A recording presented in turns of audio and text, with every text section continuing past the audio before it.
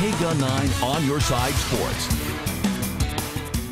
It's bad news, good news for Arizona football. The bad, running back Nick Wilson is expected to be out for a few weeks with a knee injury. The good news, though, Anu Solomon practiced today for the first time since injuring his knee six weeks ago. Here's Rich Rodriguez on why he's still optimistic for the rest of the season. One, the attitude of the team, and particularly the seniors. You know, the, I have a small senior class, but they've been really good leadership. I'm talking about really good. And then certainly the the, the young talent we have and the way they're working. And then I guess the third thing is recruiting. And after four straight losses, the Wildcats get a break this weekend with a bye. Hopefully, the Cats can regroup before they take on Stanford at home on the 29th.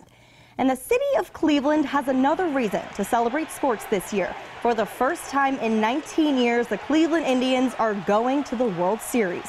The Indians wasted no time getting runs on the board. Starts right here in the top of the first. Back, has to play it off the carom, and then has trouble with it. That's going to score a run, and the Indians on the board, 1-0. Indians still up in the third. Carlos Santana sending it way back into right field for a homer. They'd score again in the fourth, and Toronto's World Series dreams would be crushed right here in the bottom of the ninth The Cleveland Indians are going to the World Series. This kid put these guys to sleep, man. That's of course, the celebrations continue in the locker room. Looks like so much fun. Cleveland manager and former Wildcat Terry Francona leading the Indians to win the ALCS 4-1 against Toronto. Meanwhile, on the West Coast, the Cubs did not let this game slip away. The drama started in the bottom of the second inning. Two outs, runners on first and second. Adrian Gonzalez thrown out at home on a controversial call that would end that inning. Cubs scoring two runs in the top of the fourth. Addison Russell up to bat. That is going to do the trick. Into right center field, and two runs are going to score. And the Cubs have their biggest lead of the night, 8-2.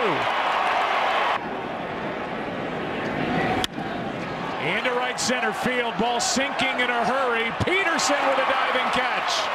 Tagging and scoring for another run is Bryant. The ball gets away. Here comes Rizzo. They can play again tomorrow. they can play again tomorrow. The Cubs have not won a World Series since 1908. Wow. So they're not going to give this up easily. No. So it'll be really fun to keep watching them play. Thanks, Jennifer. Coming up, the legend of the Great Pumpkin.